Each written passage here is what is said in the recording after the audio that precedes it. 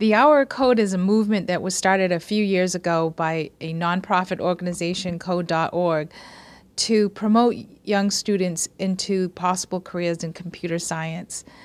Today, thousands, actually millions of students all around the world participate in the Hour of Code, in which students use kid friendly activities in which to learn basic concepts of computer programming.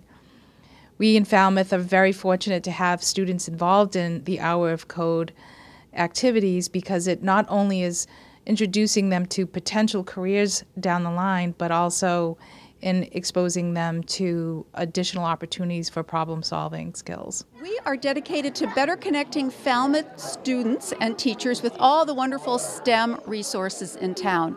So here we are tonight at the Family Night of Code, and I've invited four local software experts here to explain to these students what they do for a living.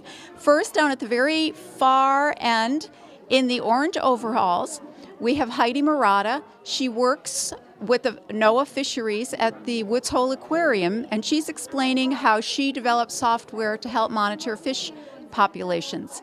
And next to Heidi is Tom Campbell. He's a software engineer, runs his own business, and has done a lot of work in the oceanography field developing software.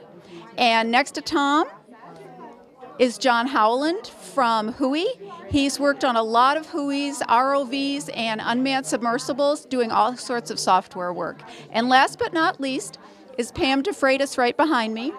She's from Convention Data Services, and she's an interesting person who started off not knowing she was that interested in computers, but has it worked her way up to become a software engineer, and has this is her second year of coming to explain to the students what she does for a living. So we're hoping everybody gets a good chance to see where to put all their expertise to use. Right behind me are East Falmouth Elementary School students showing off our Dash and Dot robots that were provided through a grant from the FEF um, Foundation, which is pretty amazing. They are coding the robots to have them do different activities. We also have some unplugged activities, which do not involve any technology, to learn the basics of coding, different iPad apps that we're using, and we are also featuring the website Scratch and code.org with their different coding activities. I built a structure that was as tall as a cup out of just, what was it called? Uh, little gummies and toothpicks but had to be as tall as a cup and hold a book. And it was computer science without um, plugs, I think. It took a long time, but I never gave up. Well, mostly the kids brought me here.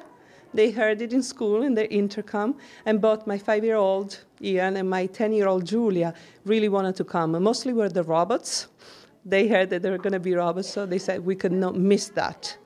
And but now Julie is exploring the green screen and the editing studio and uh, the filmmaking, and my son is working with those um, uh, three-dimensional structures that they're making, and uh, they're really having a, a, great time. And I think that coding, programming, all these activities should be actually really taught starting at an elementary level because it will be very important for our kids to learn at a young age.